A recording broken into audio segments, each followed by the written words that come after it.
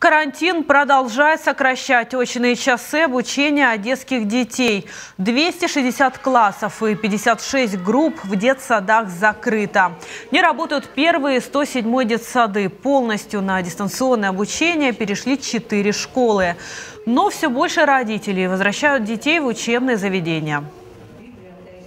Минулого тижня в нас було 343 класи на дистанційному навчанні. Більш ніж 100 класів відновили навчання, бо е, батьки вичерпали можливості знаходитись з дітьми. Це перші четверті класи, це маленькі діти, тому люди повертаються до роботи, а діти виходять до школи.